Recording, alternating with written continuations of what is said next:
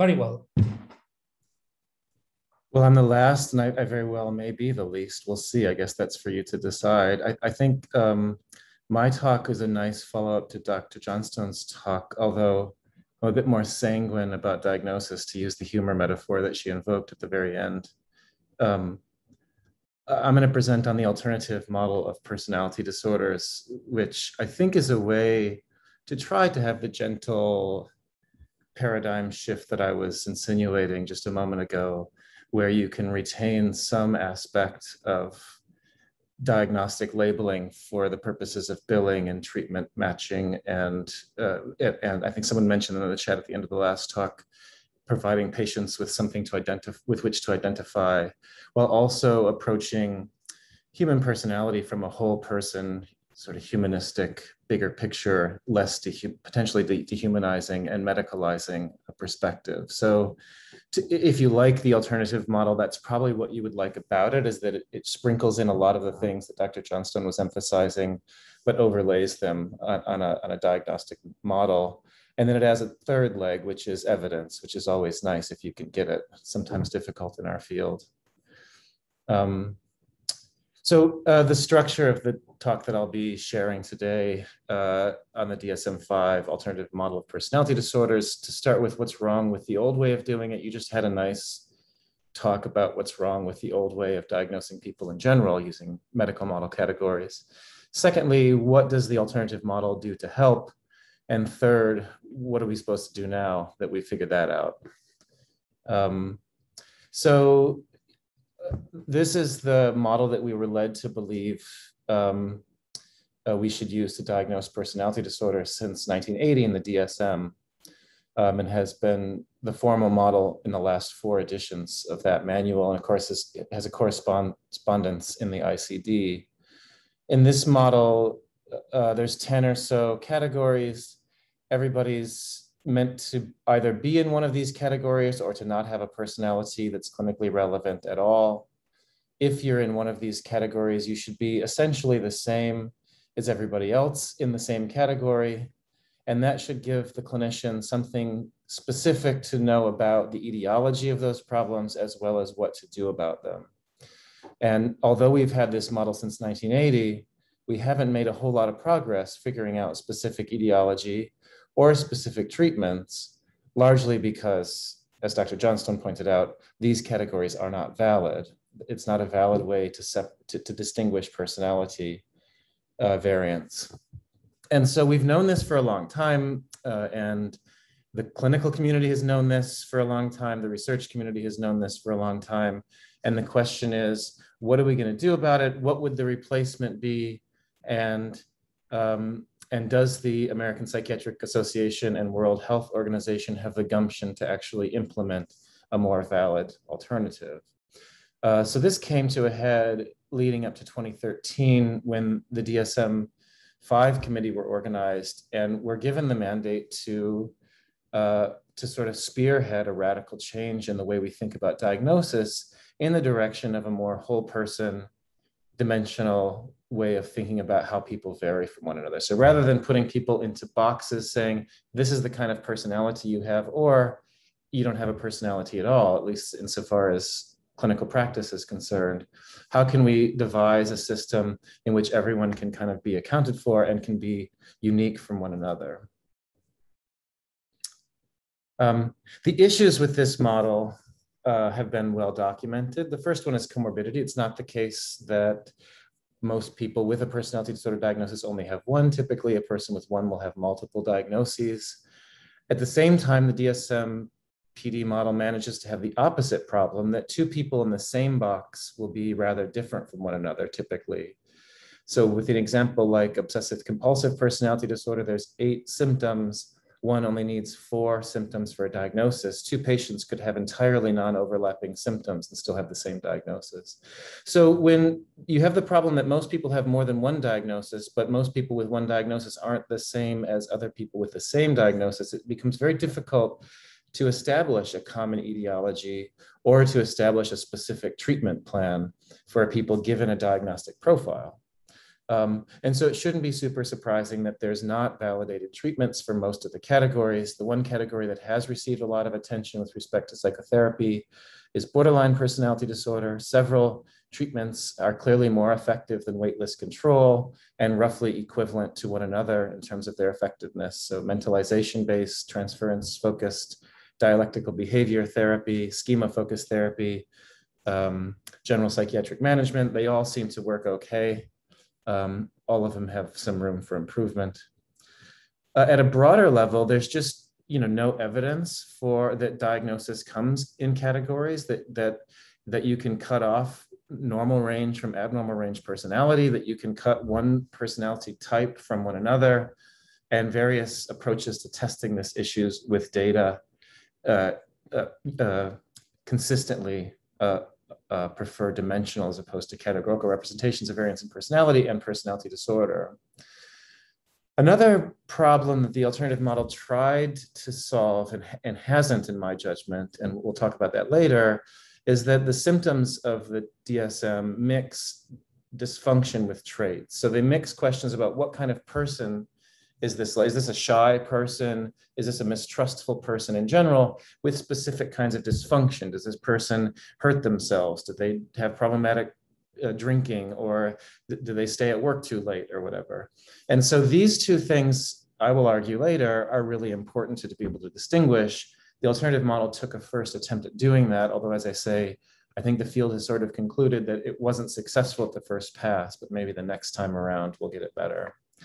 So in the context of all these issues, a number of different studies with different samples of clinicians, students, and researchers all suggested that people were ready to move on. No one really loves the DSM. There's a few people that like the categories, but by and large, um, there's pretty broad agreement that dimensional models would be better. So this is the context that the DSM committee came into when they sought to, to replace the categorical model. And they ended up settling on three broad solutions. The first is uh, using continuous rather than binary variables to try to capture the full range of personality functioning. The second is to organize those continuous variables using quantitative evidence, in particular, the covariance structure in between person data primarily, so factor analysis essentially, to organize how those variables are related to one another, rather than the traditional approach, which is to have committees of people sort of decide these are the different constructs and these are what the symptoms should be. And finally, and perhaps the biggest challenge um, is to try to distinguish what a person's like, what is their personality from what kinds of problems are they having in their lives which would merit a diagnosis. And this, of course, is the problem with personality disorder is that it's both personality and we all have personality, but it's like the problems associated with personality. And I think there are some, but one of the things that really resonated with me with me with from Dr. Johnstone's talk is this implication that she didn't kind of put it this way, but this implication that a person kind of is their problems, that you can't divorce who the person is as a whole person from the difficulties that they're having in life. And those two things are really confounded in our diagnostic model in general, but in, in personality disorders in particular. Um, so continuous variables are nothing new to this crowd. This simply means that rather than drawing an arbitrary line between people who have a personality and people who don't, or people who have a disorder and people who don't, you acknowledge the fact that these things, that there's variation. Of course, there has to be some level of arbitrariness because we have to decide who's going to get treatment. In my country, you have to decide uh, who, who the health insurance company is going to pay, for whom the health insurance company will pay for treatment. Uh, in some situations, you have to decide in a limited um, healthcare network who, who's eligible for services, et cetera. But um, much like uh, physicians do this with blood pressure, we realize that blood pressure varies in a continuum, and we sort of make judicious decisions about uh, where to cut that line. So that was the first thing is to sort of explicitly acknowledge that personality variables are continuous. Sometimes the word continuous and dimensional get get used to mean the same thing. This is a dimension, in fact, but I like to use the word dimension to mean a slightly higher standard or threshold, uh, which is to say that the dimensions or the different continua should have a meaningful relationship to one another. So by and large, factor analysis has been used uh, in this field anyway to answer the question of how various continua go together. There's different models for how to think about this. This um, picture tries to put these different models together. Um, if you factor analyze personality data, or if you factor analyze general psychopathology data, or if you factor analyze personality disorder symptoms, and you blur your eyes, you more or less get a structure that looks like this. Um, at the top, there's a kind of a general factor.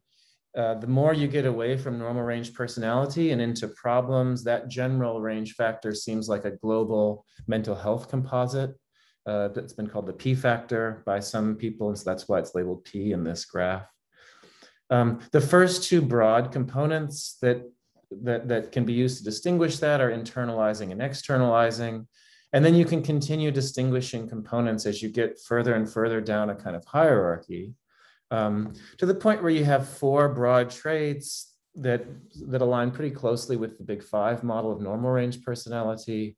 So negative affect has to do with anger and depression, anxiety. Detachment has to do with social withdrawal and lack of interest in things that most people find fun. Antagonism has to do with being a jerk and being impolite and unkind and callous. Disinhibition has to do with being impulsive and poorly regulated, etc. And then the idea is that this hierarchy continues to unfold and you can make narrower and narrower distinctions within these traits, all the way down to specific signs and symptoms that might be um, part of a person's specific uh, presentation. Um, there's a little bit of a controversy in the ICD versus the DSM in, in, in whether or not um, psychotic phenomena ought to be included in this kind of model. In the big five, there's of course a fifth trait. That's why they call it the big five, and that trait is openness. There's arguments in literature that openness and psychoticism or schizophrenic kind of spectrum psychopathology share a kind of common source. Um, I could get into that, but I'm not planning to. Um, and the, the DSM sort of makes that argument. And so it has a fifth psychoticism dimension. The ICD doesn't. Instead, it splits disinhib- disinhibition into its two poles, impulsivity on the one hand and an anankastia or sort of compulsivity and obsessionality on the other. Um, but again, if you blur your eyes, this is the this is a more evidence-based way of thinking about how the various psychopathology and personality and personality disorder continua seem to assort one themselves in nature, at least in terms of between person covariant structure, which arguably, I think I'm convinced anyway, is a better way of thinking about how to organize different phenotypes in a diagnostic manual than committees sort of deciding based on legacy uh, what the different disorders are. So that was the second thing is using evidence to organize the continua. The third thing, as I mentioned, is more complicated, and that has to do with distinguishing the person from the person's problems. To illustrate how I think about this issue, and this is not a sort of universal way of thinking about it, I'm, I'm um, my colleagues and I are sort of one camp in this, in this point of view. I'm going to share the results of a study that I did with Aidan Wright, published a few years ago, um, this was from the collaborative longitudinal personality disorder data, which was about 700 or so people followed for 10 years. Most of the people were diagnosed with personality disorders uh, at baseline. Uh, we took the baseline data. So these are continuous scores on the 10 DSM personality disorders. We fit a bifactor model with a general PD. Um, uh, the, the right-hand side, the sort of residual side was exploratory. So we let we let the model sort of decide what the dimen- what dimensions were left over after you accounted for what all the PDs have in common. So as you can see, um, to start with the general factor, all these coefficients are large enough to suggest that these different ostensible disorders are sharing a lot of common variants. So all that, whatever they have in common can be represented in this general PD factor. One sort of subtlety just to draw your attention to, however, is this borderline coefficient is quite a bit bigger than the rest of them. And that's a finding actually that we found in a few other data sets as well, suggesting that there's something about borderline that's more general than the rest. Um, and I'll get back to that point in just a moment. Uh, once you've taken this general factor out, of course, in a bifactor framework, you just have residuals left over and you can factor analyze those residuals. Five factors tended to explain them fairly well. You didn't need one for borderline because as I said, most of the reliable variance in that construct is sucked up by the general factor. What you have left looks a little bit like a big five kind of uh, framework. So you've got disinhibition, uh, compulsivity, which is sort of the opposite of disinhibition, social dominance, which is sort of like extroversion, detachment, which is sort of the opposite, and dependency, which is sort of like high agreeableness. So not, not a perfect match to, um, uh, to, to the big five framework, but again, in this kind of work, one, one needs to blur one's eyes. Um, the, the interesting thing, and the reason I wanted to share this has to do with um, this question of how to distinguish traits from dysfunction. So here we plotted th these uh, scores that were invariant across the 10 years in these data, and we plotted them in terms of their course over time. And um, uh, so the, the, the, the, the greater reduction in this value, of course, the lower that score got over time. And what we what you notice is the general factor of PD was reducing quite a bit. And we know from this sample that the, functioning improved substantially over the course of these 10 years. Most people didn't need a diagnosis um, by the end, um, which really at the time challenged the idea that personality disorders were these like stable, intractable, untreatable constructs. Our evidence and evidence from a few other longitudinal studies suggested that they're not really more stable than other kinds of disorders. Um, but where is that instability coming from? By and large, it's coming from the general factor. It's coming from whatever all the PDs have in common, which might be something like general distress or dysfunction. Once you accounted for that, um, the traits stay pretty stable, suggesting something like a person's personality traits don't really change a lot, even with treatment. What changes is their ability to adapt to their world, to fit those traits into their environment in such a way that doesn't lead to problems, which I think is a handy way of thinking about it from a treatment perspective. That's the way I think about it as a clinician treating people with personality disorders. I'm not trying to make an introverted person extroverted or a disagreeable person agreeable, trying to help them adapt their personality in such a way that it doesn't create problems for themselves or for other people. So these data, I mean, there's methodological issues which one could quibble about, but if but th this kind of model supports that intuition that there's a difference between traits and dysfunction, whereas where dysfunction is something that sort of binds the traits to the, the maladaptive aspects of the traits together, and that's the part that you, you want to target in treatment because that's the part that changes over time. So here's, I think, what I just sort of said in, in words if you can split these two pieces out, again, the sort of person and their personality from the person's problems or what's called dysfunction, the alternative model, dysfunction becomes useful for explaining severity. So how, how many problems does this person have on average, irrespective of what specific kinds of problems they have? In data, it seems to be pretty similar to the borderline construct, which we know is a kind of notoriously heterogeneous construct that includes internalizing, externalizing some psychotic phenomena. Um, clinically, to, to me, the, the, the value of dysfunction is indicating the optimal level of care. Is this a person who doesn't need services, who would benefit from outpatient services, who really needs to be in a day treatment, who needs inpatient treatment, who needs constant monitoring? That is really a, a, question that is about the overall level of severity rather than, than a specific diagnosis. So that's really a useful thing to know right off the bat is like, how mentally healthy is this person? Um, and that's also the thing that you want to change. Again, regardless of the diagnosis, you want the person to be able to adapt better over time. And so changing a person's dysfunction score really is the treatment target um, as opposed to changing their personality, which may be more difficult to do. So dysfunction can be distinguished in this model from traits. Traits, as I showed you before, are hierarchically arranged. In contrast to dysfunction, which is useful for uh, sort of ranking people in terms of general mental health, traits are useful for distinguishing one person from another within a particular level of dysfunction. So if you have two people who are severe, one person might manifest that severity by every time they get stressed hiding in a closet and not coming out. The other person might go beat people up. The other person might cut themselves traits will help you make predictions about which kinds of problems a person is most likely to have. It, it's more effective than the categories for doing this because it provides evidence-based explanations for heterogeneity and comorbidity. The reason for comorbidity is because many PD categories share common traits. The reason for heterogeneity is because there's more traits than just those that are represented in a particular diagnosis.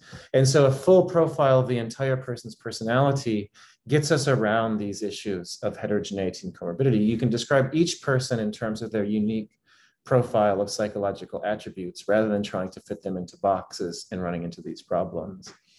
One of the big advantages is that by using an evidence-based model, we're linking psychiatric diagnosis with how people study individual differences in personality in the lab. So people from personality psychology use models very similar to this.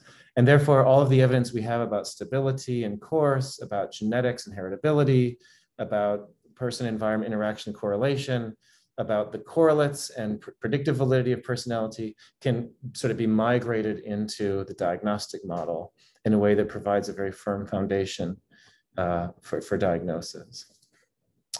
Um, so that's that's what the, the DSM-5 was trying to do, use continua, arrange them using evidence, and then try to separate dysfunction from traits. So now I'll just go briefly into the specifics of how the model is constructed and how, and how it works. Um, there's two parts. Criterion A is called the level of personality functioning. This is a single dimension of overall psychiatric or personological severity with multiple interpenetrating elements. Um, separate from dysfunction is our maladaptive traits. There's five domains that, that look very similar to the five factor model and 25 facets that allow for more specific articulation of the person's uh, personality. Um, so I'll just talk about them briefly. The uh, LPFS or level of personality functioning scale has roots in psychodynamic models of personality organization. This has been maybe a controversial aspect of the model. People who like psychoanalysis may welcome this. People who don't, don't. Um, in the ICD, it's much more atheoretical. It's really just a single composite of overall severity, whatever that means to the clinician. There's, there's some criteria, of course.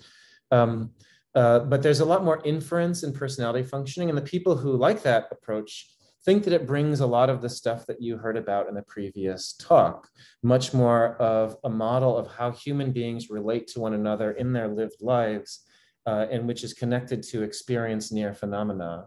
Um, people who don't say, well, psychodynamic models of personality are not sufficiently evidence-based. We can get into that controversy in just a moment. Um, but essentially, there are uh, four interpenetrating elements. One is identity. That is, do I have a clear sense of who I am? Can I distinguish myself from other people? Do I bring the sense of who I am from one situation to the next? The next element is self-direction. Do I have long-term goals that are essentially pro-social? Do I take the steps to work towards my long-term goals? The third is empathy. Can I feel what other people feel? Can I maintain a sense of of, of that feeling even when I disagree with people. And finally, intimacy. Can I establish mutually satisfying long-term relationships with other people? Um, they're interpenetrating, and I want to emphasize this point, they're not meant to be factors. So they're not meant to be the kinds of things that you would do a factor analysis and get four different things. The idea is that this is really one common dimension, but that there are different ways of of having dysfunction and that all four of these aspects identity self-direction empathy and intimacy are, are going to sort of entangle with one another to produce more or less functioning. So you rate a person on each of these four uh, um, uh, dimensions and then you give a person a score and based on um, previous level based on the score that predicts diagnosis using previous categorical diagnostic strategies two was selected as the level uh, that you would need uh, to, to, to, have a clinically significant personality dysfunction. Um, yeah, this is a really good question. Um, Nikki Van Eyck asks, how does this general level of functioning differ from dysfunction that's observed in other disorders? This is a, this is a really important question. Um, it's a theoretical question. As I mentioned, the, the DSM used a very psychodynamic kind of way of thinking about what personality dysfunction is. And in that way of thinking, personality dysfunction is really distinct from other kinds of sort of everyday dysfunction. Empirically, I think that distinction has not really uh, been, been uh, proven or, or uh, we haven't, we haven't been able to come up with measurement tools that can make the kind of distinction that we would like to be able to make. I'm a, personally a little skeptical that we will be able to do this. And I think uh, what you're sort of implying, Nikki, is maybe the way I would go about it and be a little bit more agnostic. that's not the way that it was done here. But the, the idea is that the specific, these specific kind of developmental dynamic developmental task? Can i can i did i get to the anal stage and do i have a separate identity from my parents? That kind of thing is sort of the the underpinnings of this model. You could you could have an alternative agnostic kind of model that's like well can you can you like do stuff that's re- related to working successfully? Can you parent successfully if you have children? Can you have relationships? Independent of like the developmental stuff um, i don't know that we're going to be I'm not sure that we're ready yet to make the distinction that we'd like to be able to make. So I, I read some skepticism in your question and I share it. The LOPF uh, interpenetrating dimensions, Derek Fung asks, how are they derived? There was a paper published by Donna Bender and colleagues in 2011, and, and basically they reviewed a, a, a, whole bunch of different um, measures designed to assess personality dysfunction. And they, they sort of did a narrative integration of, of the different elements of those different measures. And that's where they decided on these four interpenetrating elements. They, they're, they're meant to cluster into kind of higher order self and other domains. The idea is that self in relation to other is the kind of core deficit specific to personality disorder. If, if, if one self can't relate to others in a way that's adaptive, then they're going to have PD, is basically the idea. And that comes from, again, primarily psychoanalytic models of dysfunction. The other aspects, so-called criterion B, are traits. Traits have roots in quantitative models of personality structure, things like the five-factor model or the MMPI. Um, um, however, unlike the five-factor model, they focus on maladaptive variations of normal range traits. So these traits are unidimensional. They're not meant to be normally distributed. They're meant to be, and they only capture one tail of each one of the big five traits. It's true that for all five traits, one tail is probabilistically more related to, to difficulties than the other, although uh, I've criticized this model and other people have as well because that's that doesn't mean that for every single person. I think this this is an example of, of something that gets back to Dr. Johnstone's talk. Um, just because on average people have problems being, say, too disagreeable, it doesn't mean that your particular patient might not have problems because they're too agreeable. And so this is this is maybe some uh, some room for improvement in this model. Nevertheless, the idea is you've got five uh, maladaptive um, uh, uh, distributions that are connected to normal range big five traits.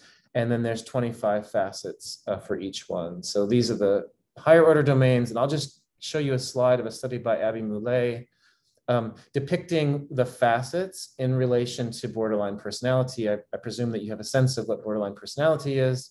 Um, and so this just gives you a flavor for what the facets are. Um, you know, the, the, high score, these are from three different ways of thinking about borderline. The, the different colored bars aren't important really uh, for what I want to show you here.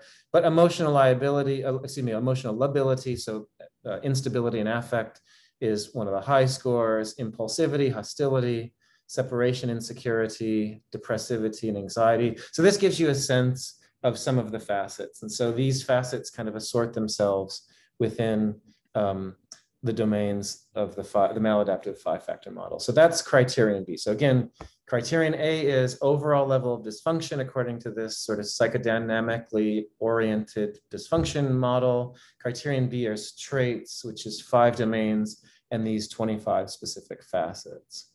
So the idea is you can use criterion A and B together in order to diagnose a patient. The first step would be to determine the overall level of personality dysfunction using the level of personality functioning scale. If, the per, if that person is above uh, the criterion for diagnosis, then you would describe what that person's like using the traits.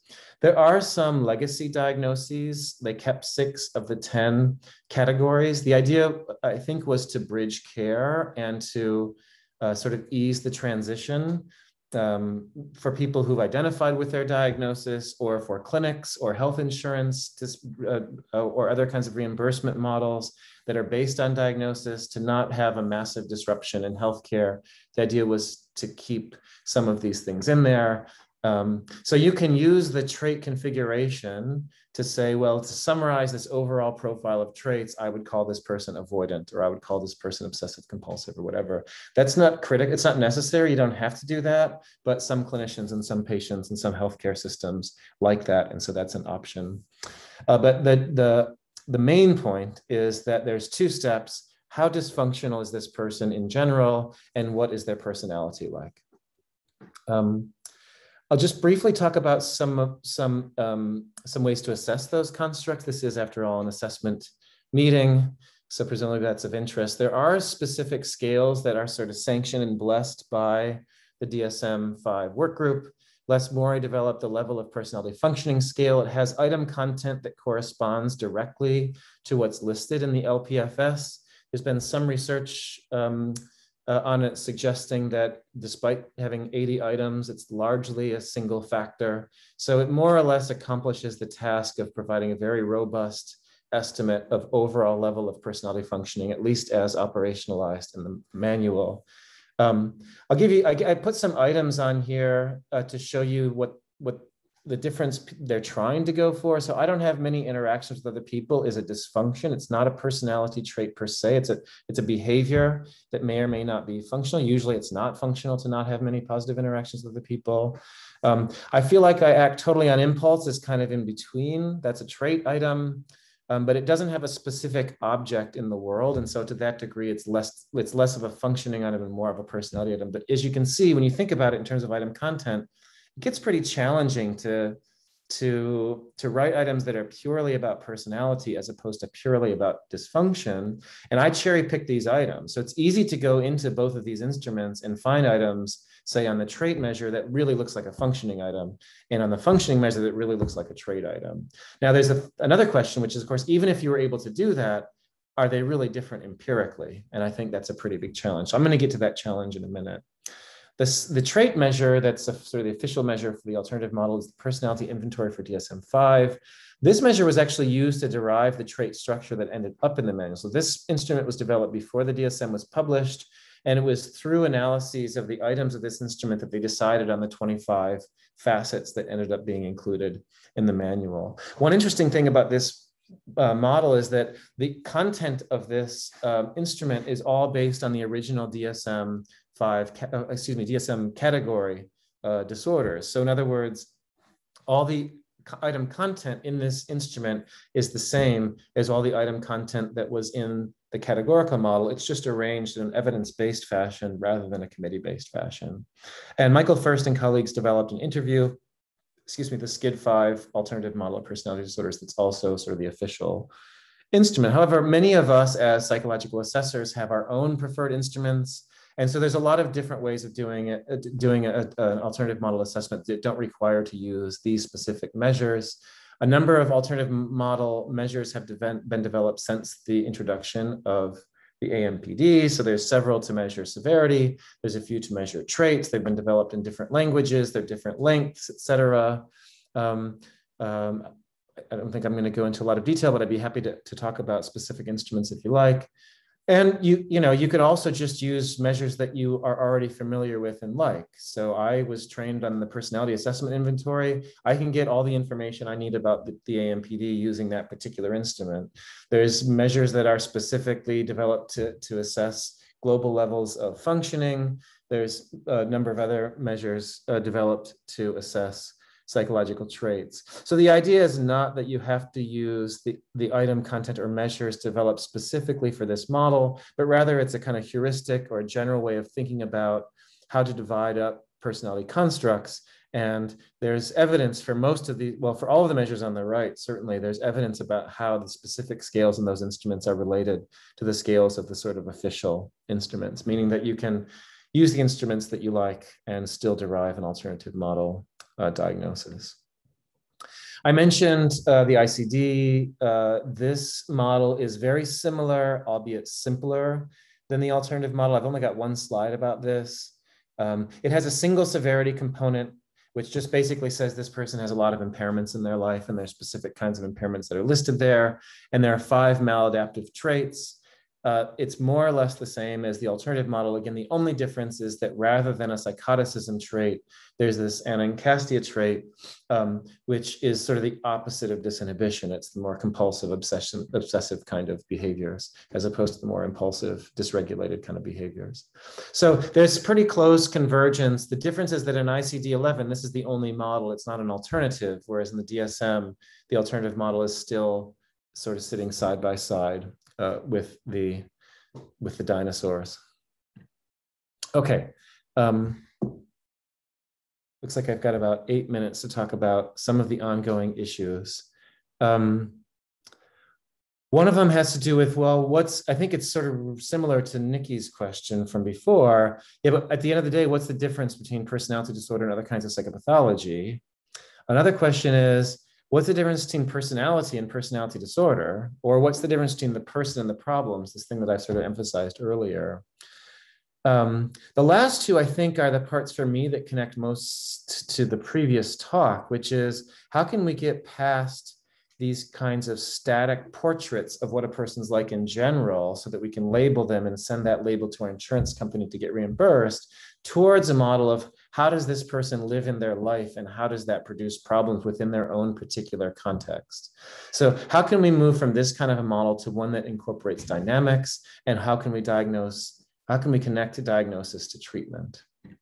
Um, so uh, the previous talk mentioned the HiTOP model. This is a model of the covariant structure of psychopathology in general. This model assumes that there's not a, a, meaningful difference between personality disorder and other kinds of disorder. And indeed, personality disorders, as you can see here and here, fit comfortably within this kind of model. In fact, they're overrepresented relative to a lot of other um, constructs in this model. So from a purely like, if you just take cross-sectional data and do covariance analyses of the different symptoms, you really can't distinguish personality disorder symptoms from other kinds. They tend to be more severe with a few exceptions, uh, but just in terms of covariance, it's sort of individual differences are individual differences and you can't really cleanly separate personality disorder so what is the basis for thinking that there's such a thing as personality disorder in the first place I, I have to sort of cop to the fact that I'm of two minds about this. I think there isn't really a basis for doing so empirically.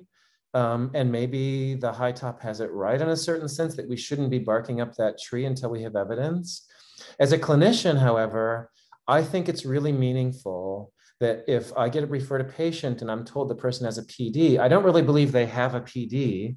But I believe that they have interpersonal challenges that's going to make treatment engagement difficult.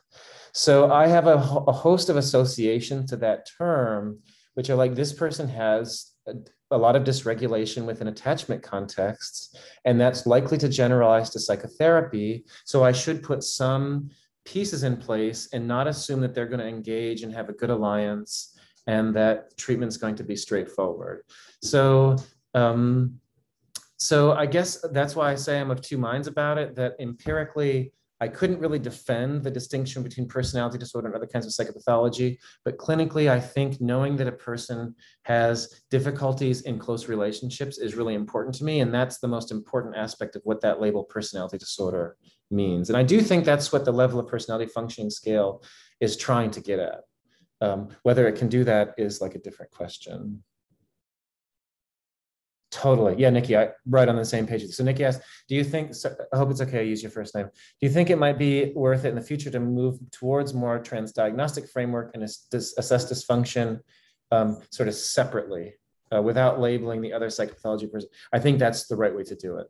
To have one model of like, what are the person's actual specific problems in their own life and their own unique culture, environment, context?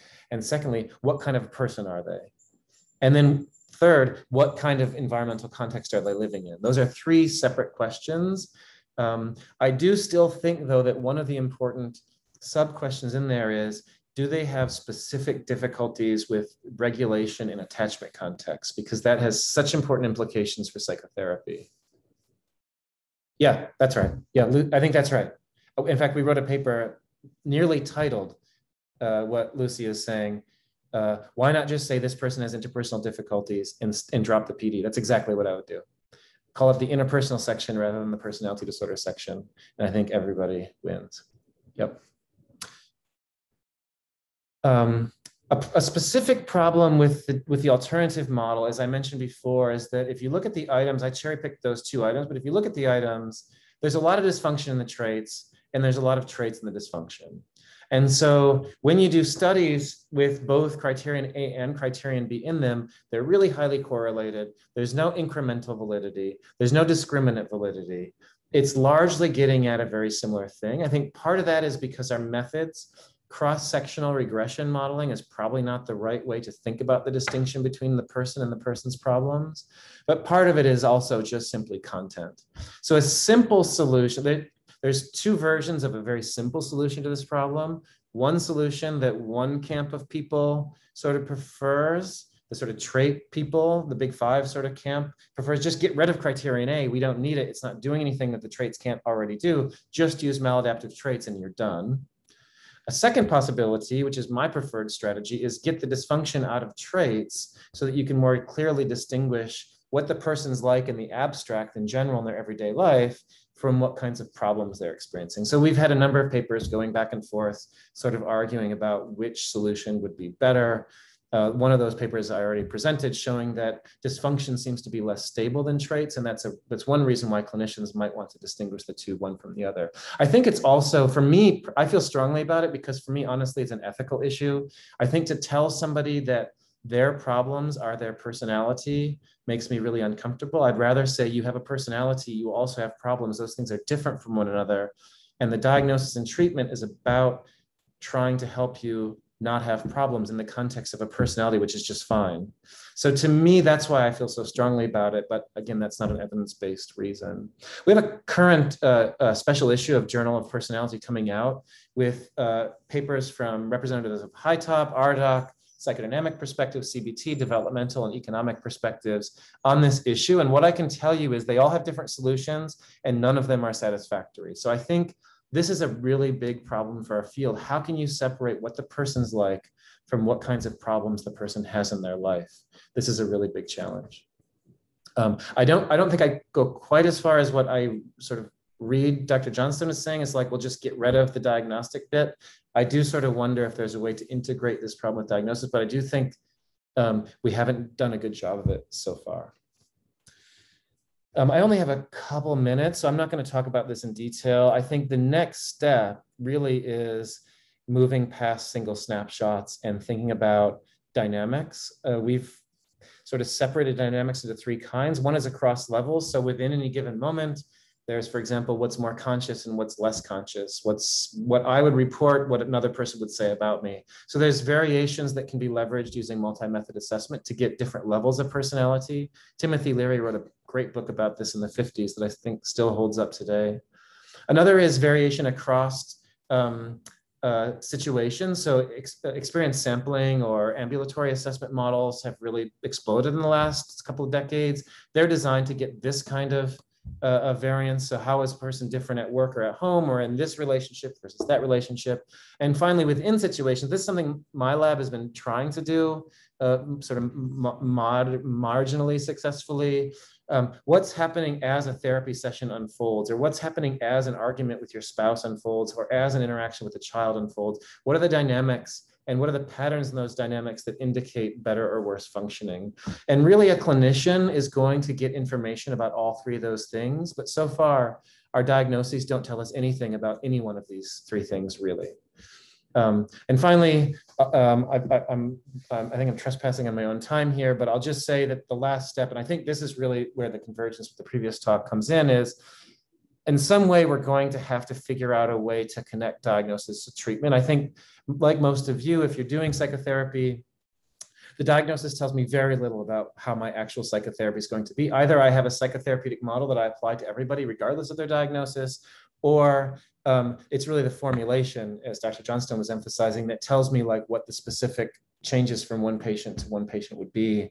This sort of glue between diagnosis and treatment is really lacking. That was the hope of the DSM that by articulating categories of people, we could work out a specific etiology. And if we could do that, then we could work out a specific and discriminate treatment.